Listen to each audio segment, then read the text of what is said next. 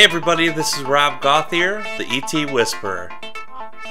Hey everyone, I want to thank all of you guys for your patience. It's been a long time since you've seen a Metatron video and this month's Galactic video is already running late.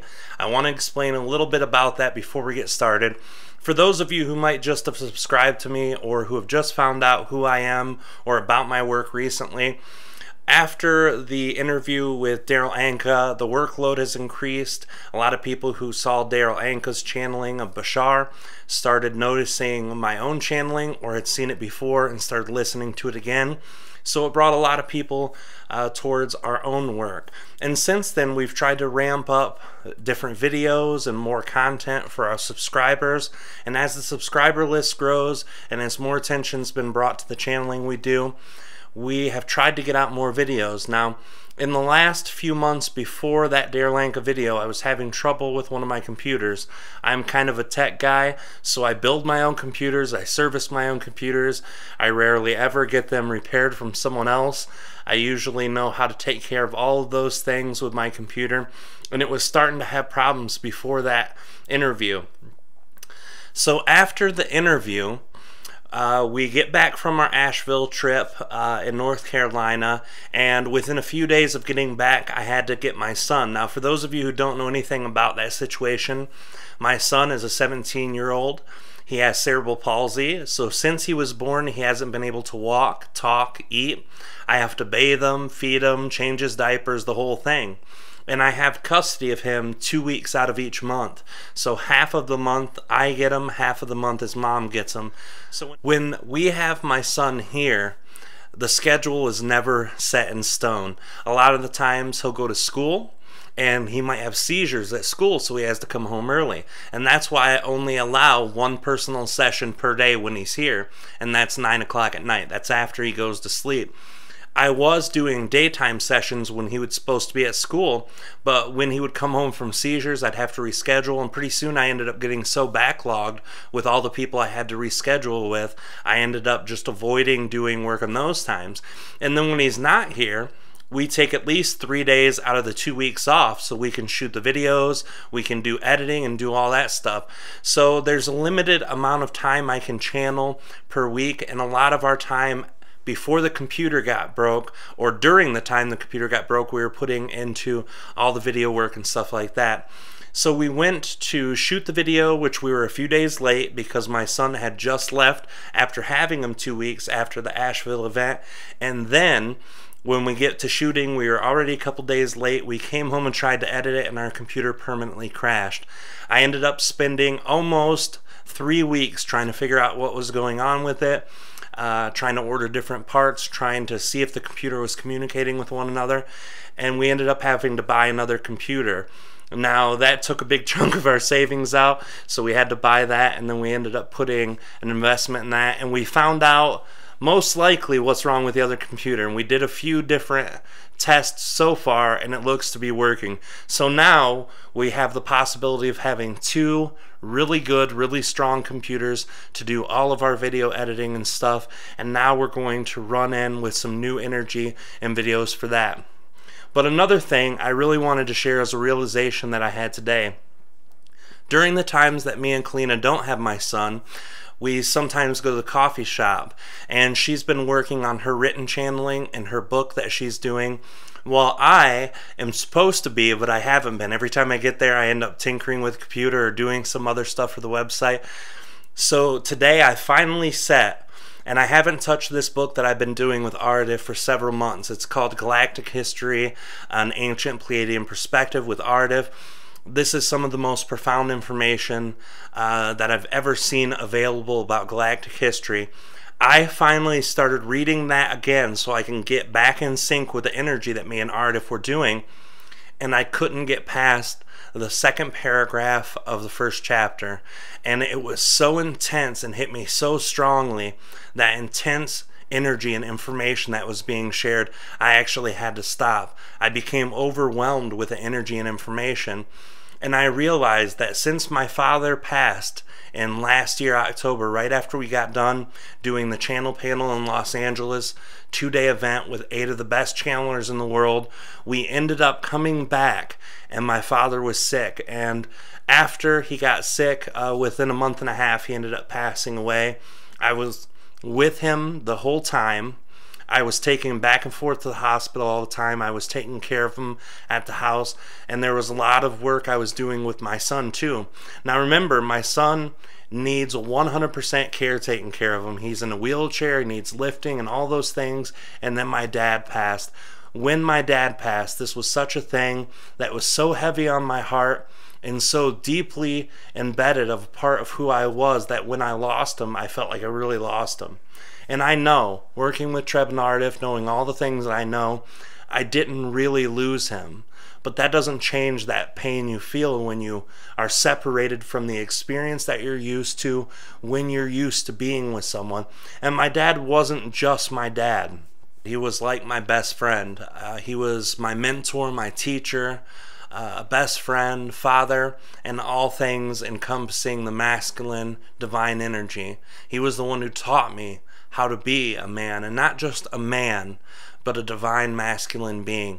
So losing a part of him, uh, the way I got to experience him, left me very, very uh, hurt and I thought I healed from it a few times. I tried to jump back into the work, which is the one thing I love and the one thing I'm so passionate about besides my relationships with my son, uh, Kalina, all my dear friends and family. I tried to put that energy into that and I would do all right, but sometimes I would just start getting overwhelmed. The amount of energy it takes to channel these entities is very intense.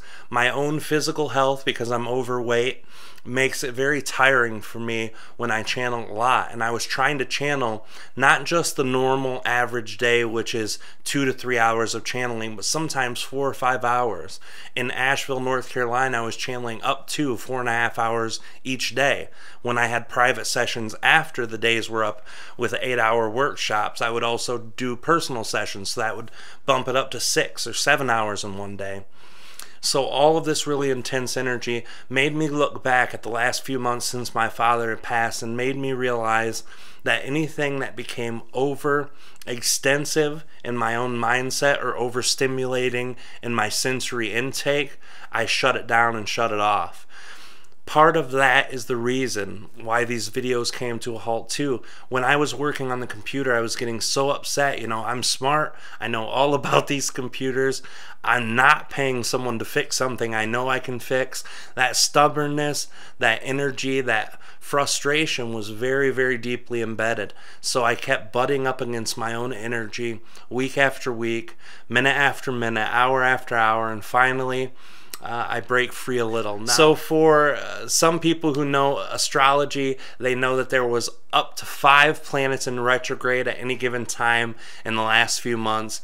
And I don't believe that the planets rule us, but I believe that they are a reflection of the energy that we are. So it was just showing us how bad we were getting our asses kicked over and over uh, for the last few months. So right now, uh, a lot of the planets uh, that deal with Capricorn energy and just collective energy are done being in retrograde. And it's funny because I wasn't really paying attention to it being in retrograde or out of retrograde, but I felt this lightning about a week and a half ago, and that's when I found out that Saturn was out of retrograde finally. Kalina told me she's she knows a lot more about astrology than I do, and she explained that Saturn is one of the ruling planets of Capricorns, which I had no idea. if you think I have it bad, Kalina's got the double Capricorn energy.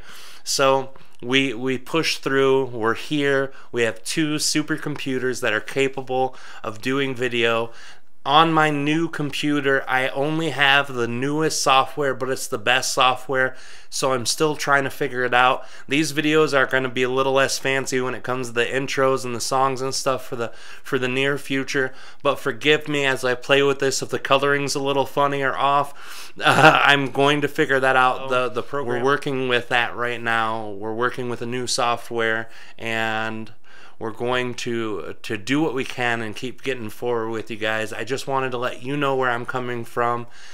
I'm also going to share a little bit about this and then we'll get to the channeling, I promise. You guys have waited so patiently. I'm going to start doing uh, videos where I myself, Rob, am going to share a little bit about what goes on with me, but also we're going to start diving into the meticulous nature of the Density Master classes again. We've had two of them released publicly.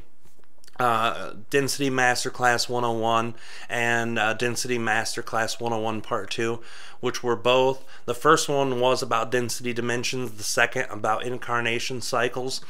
This information, since I've connected with Treb Nardif, I understand to such a, a huge degree and with such an ease because when I'm linked into them while I'm channeling, I absorb that information not just mentally but energetically. I, I, feel a part of my consciousness integrates it without me ever knowing about it. So as it keeps going, um, I'm just going to keep sharing, and everything that I have learned, I'm going to continue sharing with you guys. And Chini says hello, our little kitty cat. Um, she's sharing with us too. So I'm going to keep pumping out as much as I can, and I'm going to start dedicating. Uh, instead of the two or three days, I'm going to try to dedicate at least four or five days per month. And we might be moving into an office soon, which means no more at home shooting, only shooting outside when the weather is good, shooting with our backdrops back here when it's not. Uh, our apartment that we live in is too small to shoot really nice uh, wide angle shots without catching a door or a cat running by or, or books laying up against the door. So we're going to try to figure out uh, how to get into an office. We're working on that now. And when we do, we'll have a place where we can shoot night and day and invite people for live sessions. Next year, we're shooting for a lot of stuff. Me and Kalina want to go on tour next year. Financially, that's a big thing. Um, there has to be a lot of financial support from the public for us to do that. So we're going to try to get as much free information out there and also paid information so that we can make that balance and be able to get out to see you guys. We want to be able to go all over the East Coast, down south, Midwest, uh, out in the plain region and out in the west coast because we've only been able to get to Asheville, North Carolina, uh, Michigan um, California, and a few other places between. We want to really get out to where everyone in the U.S. can see us. And after we establish that next year, then we're going to come out to Europe and say hey to you guys. And once we establish that, we want to come out to Australia and see you guys, and Asia and Africa, wherever we can see you guys, we want to see you. We love you guys so much. Uh, thank you for listening to me. I just needed to get what was in my heart shared with you guys because I feel responsible a lot as a, a, person who has been a caretaker my whole adult life with my son. I always worry about the needs of other people, and I've always weighed that heavily against my own heart and my own needs. So there's a lot of time where I am so worried about getting this information out to you guys that I beat myself or run myself ragged until it gets out. And I'm finding a balance to take care of myself in the meantime. I know you guys love me no matter what. I know that you guys want to see our work, even if it's a month late. So I'm going to be easy on myself because I know you guys are easy on us too. And I just really want to tell you how much I appreciate all the love, support, kind words, and sharing that you guys have done throughout the videos. Uh, don't forget to drop uh, any kind of comment down in any video that you watch of ours. If there's something that we're not talking about that you want to hear about, if there's something that you want to share with other people who are watching, please feel free to just lay those comments down. Uh, we try to keep our area a very safe and loving place where people feel safe putting their comments and Im information. Um, if anyone comes in bullying or being rude, we'll get them out of there quick for you guys because we need you guys to feel safe too. And this community is one of the most difficult to, to be able to uh, accomplish a sense of trust with people. And we feel we've we've gotten the trust of other people as well as our own trust given out to a lot of people who we've met and communicated with. And we, we really want to thank you guys for just being there for us as much as you feel we've been there for you. So thank you guys. Love you guys and enjoy the channeling. Love you guys.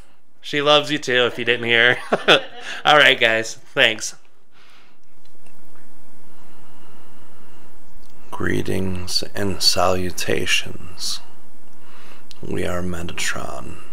We walk with you towards the center.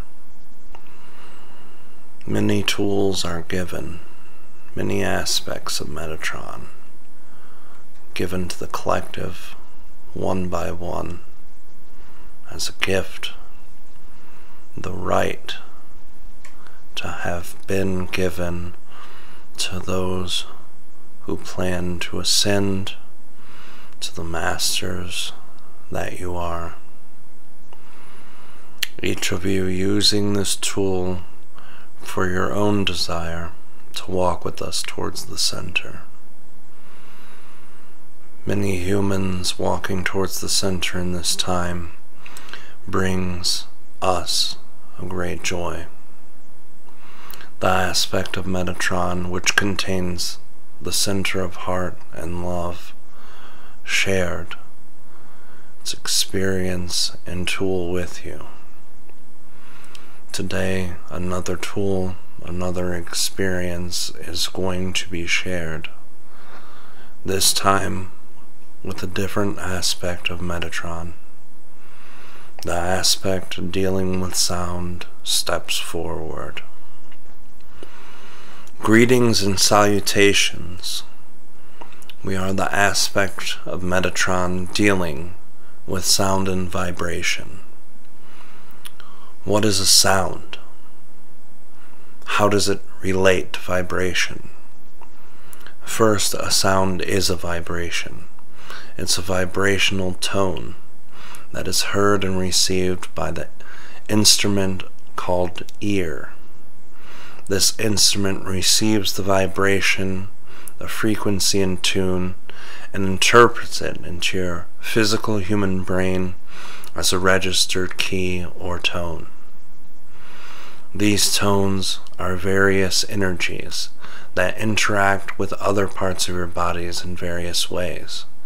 Before introducing the tool that helps you walk to the center dealing with sound, we must first explain how sound works in your reality, how sound interacts with your body to allow you to take the vibration and use it and utilize it in your own self, in your own understanding, and in your own ascension process.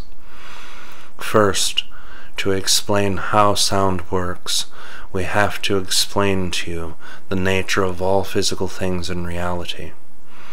Physical reality is made by atoms.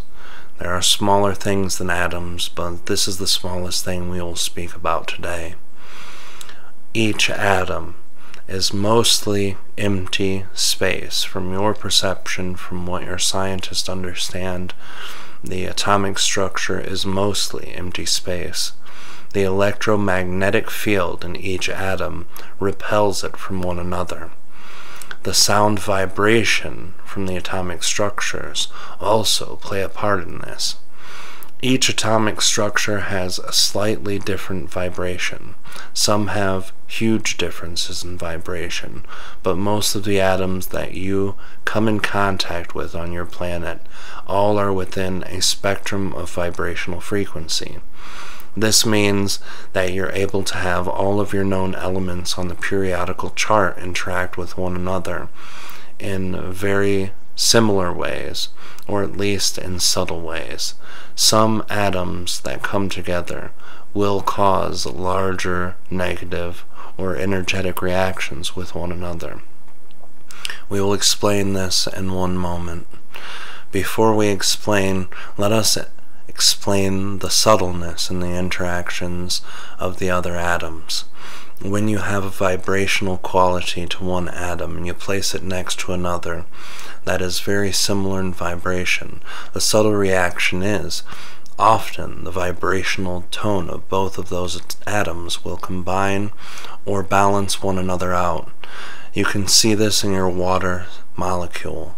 In your water molecule, there are two hydrogen atoms and one oxygen atom, the oxygen atom being a larger of the two, the hydrogen atom being smaller, and two of them come together looking a lot like the Mickey Mouse hats that some people wear.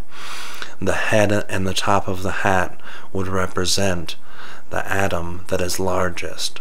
The two smaller ears would represent the two atoms that are small. How can they mix with one another to create water? Vibrationally, they are similar enough where the actions and interactions are subtle. Once they all catch a vibrational frequency that evens out, it can create the water molecule. The water molecule in itself is essential for all life on the planet. So two different vibrational atoms come together, one in different quantity than the other, but all finding an equilibrium all finding a common place of harmonic vibration, all allowing to build one atomic structure. Now look at some of the atoms that are not as compatible. Look at the ones that create violent or energetic reactions. When you place uh, very volatile elements or atoms next to one another, it can cause chemical reactions. This is often several different molecules that are made from several, different atoms, and the vibration between all of them are so different that it causes explosions or fires. This occurs when there can be no harmony in all of the atomic structures vibrationally. This can be where none of the vibrations are able to sustain a synchronization with one another. Now, when you see yourself in your life, you are much like the atom. When you go around happy people, people who are interested in the same things as you are, you come to an equilibrium or a stasis. In that energy, you find yourself very in flow and in sync with all things around you. You find yourself keeping positive mindsets and staying away from more negative mindsets when you get around people or places that are negative in vibration for your synchronization, no synchronization or equilibrium can occur. In that state, either you or the others become volatile. There becomes frustration and thought and mind sync patterns. You are only allowed access to the more negative vibrational emotions. This means that you yourself will give into fear, anger, and hatred, frustration, madness, jealousy, spite, and all of these things that make your life living a bad experience. So, how do you sync up sound vibration? How do you sync up a tool that can be used to keep your equilibrium despite your vibrational quality? First, there is music, the greatest tool of mankind. All of you come from a very tribal lineage. All of you are deeply synced with the sound vibrational quality of the earliest tools and instruments drums, sticks, vibrational seashells. Those things were something that were very usable to the early man. Those were things that no matter where you lived, you could grab or use or utilize in your environment. For instance, the drum was an animal skin stretched and tied tightly to a rounder object or a hollow object. When tapping on that, you begin to make a sound. That rhythmic beating of the drum became a part of your earliest man DNA. This means when you hear the rhythmic tapping,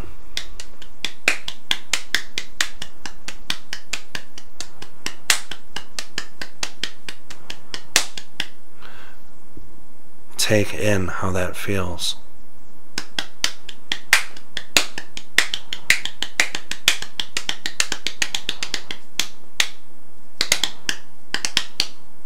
Feel the subtleness of your own excitement rising. When you hear someone who can play drums much better than we can, then you feel that excitement becoming larger and larger you feel your own DNA starting to interact with all of the cells in your body. Each cell you have carries DNA. Each DNA that vibrates with emotional joy will start interacting with each cell in a positive manner.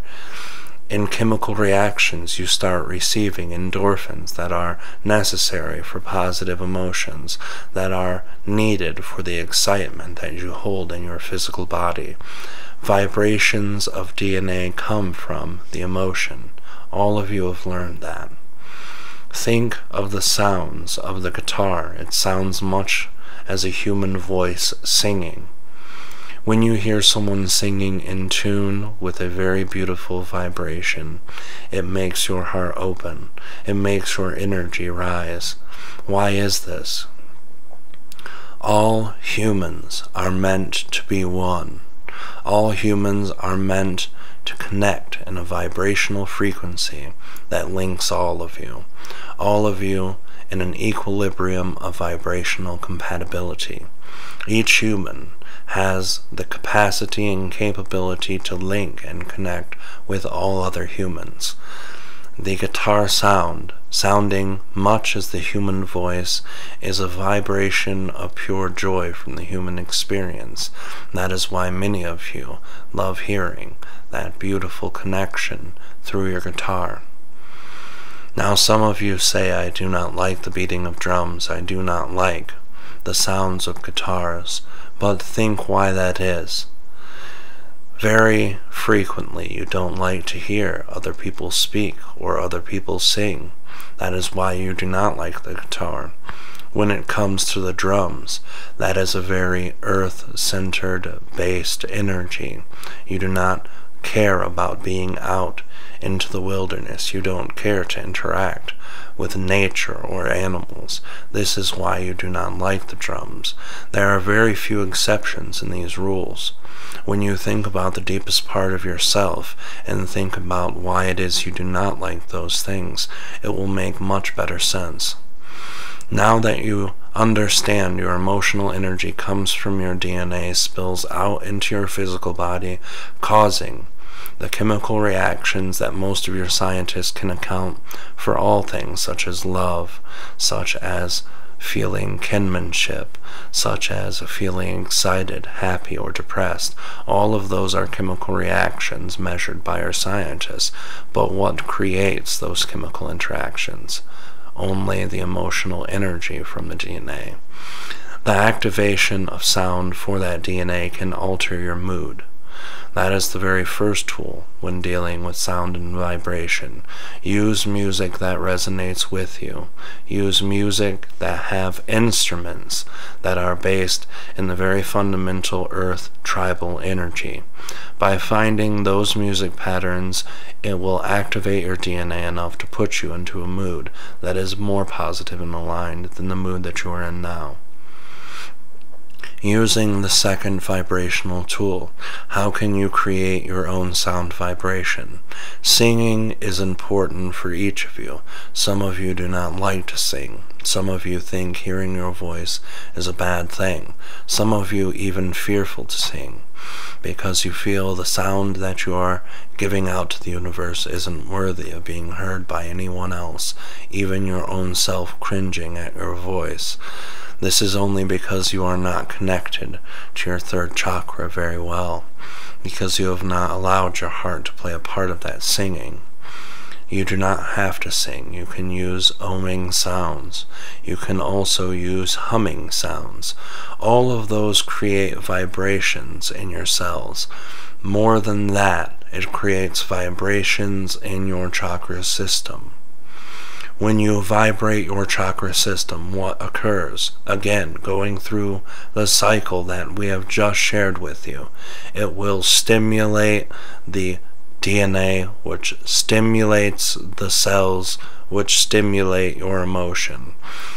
This is your own internal music and gift from yourself to the universe. Think in a larger picture about vibration. Think in a larger picture about vibrational quality. The planet Earth has its own vibrational frequency in hertz or megahertz that is different from the planet Venus.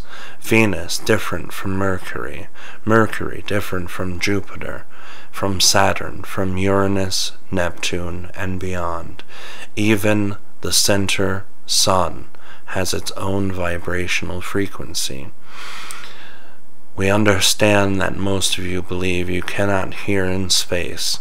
So if you take the vibrational quality that comes from that planet, putting it through your own instruments, you can hear the sounds of your universe around you. Even more so than this, when you hear the electromagnetic interactions with the sun to each planet, they create songs. Some of you have had the very great experience of being able to listen to the Earth's electromagnetic field. Many of you have been able to hear the grid, whether through instruments or from your own intuition and inner ears. When you hear this, it is a sound and a song that could never be duplicated by human instruments or by the personal inner voice of a human. When you listen to it through technology, it is taking again the sound vibrations and turning them into something that's translatable to hearing.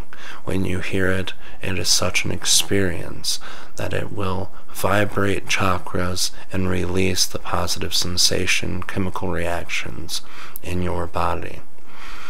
The galaxy at hand has a vibration, each galaxy its own. Think about all of the vibrations of the different stars around you. Go into your night sky. Find your favorite star. Look inside of a radio telescope catalog to see what vibrational hertz or megahertz it gives off.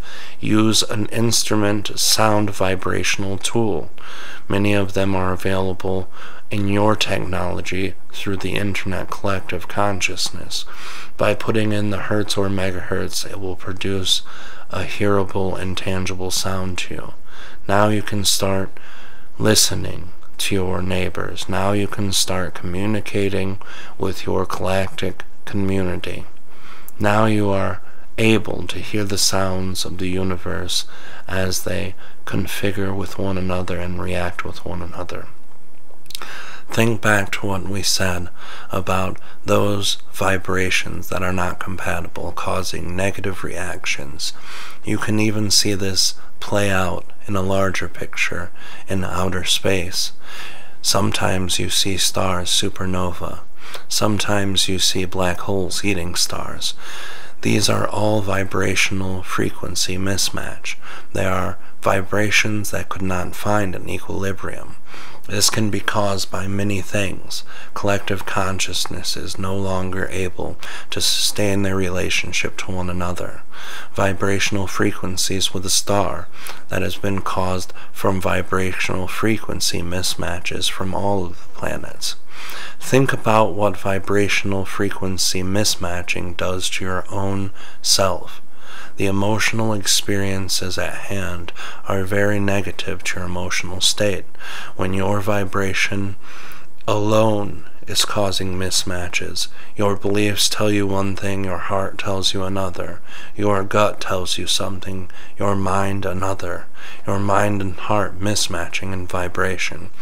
Vibrational mismatching does not have to just occur with other people or other environments. It happens internally. How are you going to fix this inner vibrational sound so that you can resonate, so that your emotional patterns, your mental self does not become destroyed? It is very easy to work on this by using sound. Again, hearing music and giving your own sound vibrations is good, but you have to think on this again in a larger picture what two things are mismatching, your heart and your mind. Now you have to find a way to bring the vibrations to a similar and resonant enough vibration where it will either be subtle or completely connectable vibrations. Your heart tells you one thing because it is full of love, because it is connected to the emotion of love and open like love is just as God gives you love. It is the greatest open experience. Many times the human mind is closed. It is not open to accepting or to loving. So you must allow your mind vibration to align with your heart. Which do you know is better? Each time you've listened to your heart, you experience a better scenario than when you let your mind overrun. That is the biggest clue on which to choose to bring the other towards the vibrational harmonic connection. When you think of an equilibrium, think about pulling the one that is furthest away from love back towards the one that is closest with love. These tools will give you great insight to sound vibration and how it is played throughout. We are Metatron. We walk with you towards the center.